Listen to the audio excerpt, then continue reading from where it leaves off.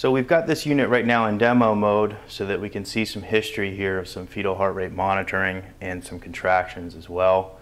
Um, just kind of going across the top here, you've got fetal heart rate 1, fetal heart rate 2.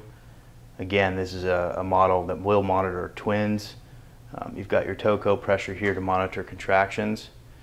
There's a couple different ways that you can configure this unit based upon user preference. Right now we've got it set up where the tracings for fetal heart rate 1 or baby 1 and baby 2 will actually overlap. You can actually set this to offset it as well so that one will be lower than the other one. Um, again, that's a user preference. I find that most practitioners would like them to overlap so that if they glance at the screen, they don't see something that would appear to be out of whack because the, the lines are offset. Down here is going to be your, uh, your contractions. You can see here uh, the movement, what's going on. Um, the, the, machine will operate on the toggle switch. As I move this uh, trim knob, if you will, back and forth, it'll highlight various parts of the screen. It's very easy to use. Um, you just highlight the area that you want, press the button.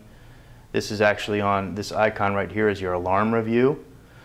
So you can quickly click on that button and scroll through all the, the various alarms that it signaled and you can set the alarm parameters obviously to your liking.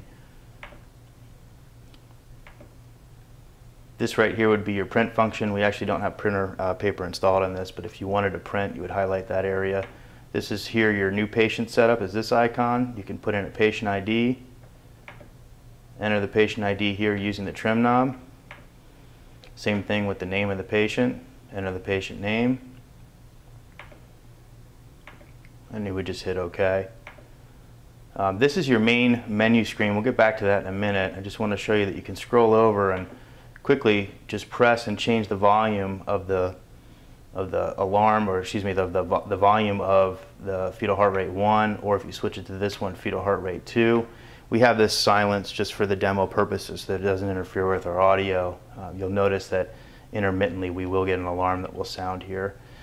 And when you highlight down here on this icon this will quickly pick up your different uh, user IDs that you've entered. And this patient we didn't actually configure a specific patient ID for this one, uh, but it gives you a default, it assigns automatically a default number if you don't enter one. And the date, we started this exam actually yesterday and it's been running for quite some time. Um, so we can click on that and actually click over here to, to the scroll button and ask it to scroll through some of the history. Right now we're going backwards to see some of the contractions and what the fetal heart rates have been doing now we can switch it to forward, hit forward, and it'll come back all the way to real time. So again, this, this machine will store uh, 60 hours of data so the practitioner the nurse or the doctor can come in and quickly review the history of this patient um, and make sure everything's okay or if they miss some sort of event that they want to scroll back to specifically, they can quickly do that.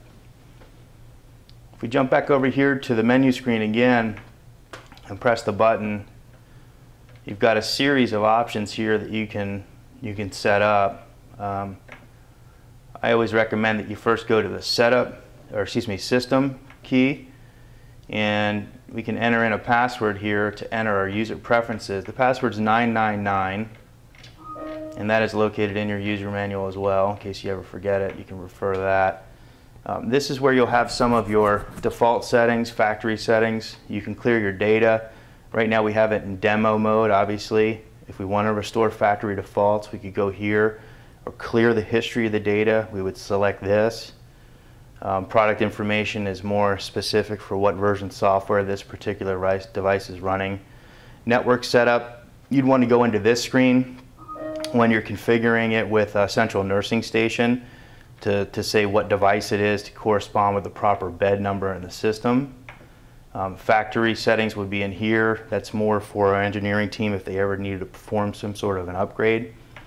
Recording configuration, you can record or change here the, the, the line width, how thick it actually prints for fetal heart rate 1, fetal heart rate 2, um, the TOCO, uh, the automatic, automated fetal heart rate as, uh, movement as well and the paper setup, you could change your paper setup here too. This will actually take um, two, two different size uh, paper um, that you can configure it in the screen.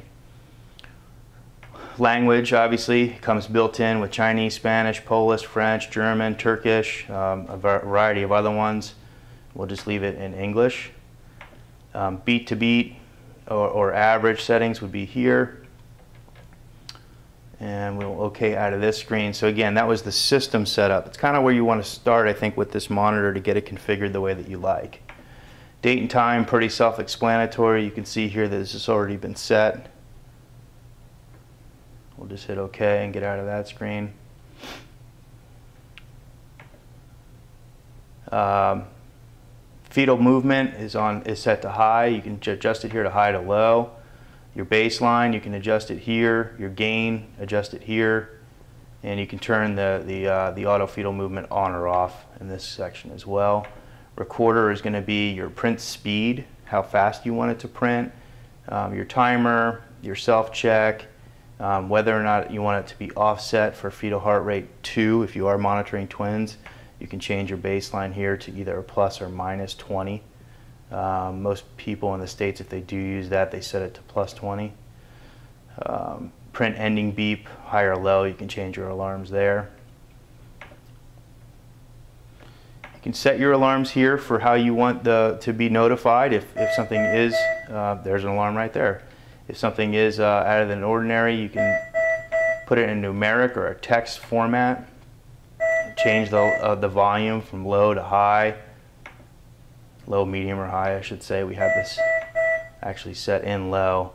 Silence duration, when the alarm is going off, I can hit this silence button here. I should have just taken that opportunity to show you that. If I hit it once, it'll it'll silence it, uh, inf you know, infinitely right now how it's set. Otherwise, we can set it to one, two, or three minutes. Next time it goes off, we'll hit that button. Um, single signal loss delay. Um, if you if you mom moves around and your and your probes uh, lose their positioning, you can either be notified immediately, which would be set to zero, or 10 seconds up to a minute. and your alarm setup is on. You can set it here for your beats per minute if it goes below 120 or down you know to 95 you can set it however you like there I think we have this one set for a pretty wide range so that it doesn't continue to beep during our video here. Same thing with your high alarm your alarm delay like we mentioned and your, your alarm volume. Jump up here to general settings. Key volume, um, I have it off, and that would be every time we, if we turn it on to low, oops, we'll hit that silence button that time. Uh, we'll jump back into here. Uh, so we're in key volume. If we go to low or high, every time I turn the knob now, it makes a sound. Um, and you can change the, the level of that sound. Again, I have it set to off so it doesn't interfere. When you do change it, you have to hit OK and then go back in. Um, you can change the screen color, the background from black to green to orange to blue. We'll change it to orange if you like. Startup music, when it reboots, it'll make a funny noise. You can turn that off or on. I prefer to have it off. Um, Smart Notes is on, and that will actually allow you to uh, to make a note in the system if you see some sort of activity that you want to notate in the document. Um, you can do that. You can turn that on or off here. And your CTG analysis, you can turn that off or on in this menu as well. So we'll leave that on. So obviously when you have a new patient, you want to go to start monitoring. Um, how you set it up, if you want it to print right away, yes or no. Uh, if you want to enter maternal information, it's either on or off. We have this set to on, and then the volume level is set to 1. You can crank it all the way up to 10. So when we do have a new patient, you can see here that our display color changed because we changed the background from black to an orange. Again, it's just a configuration. I'm not quite sure if that shows better on the video or worse. Um, but again, when you have a new patient, actually, you know what, I'm going to change that back because I think that the black just looks a little bit better.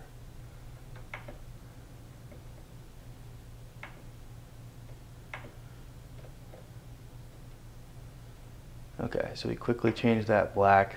I think that'll probably show up a little bit better in the video.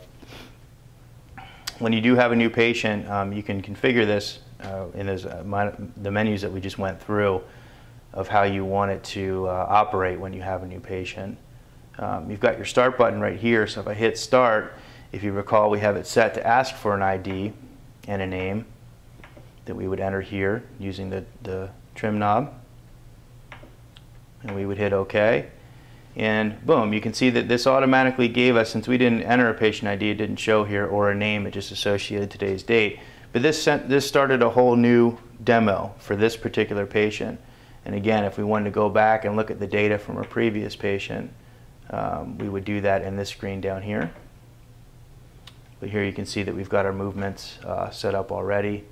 I think, I guess demo is not going to set up to actually store the previous data.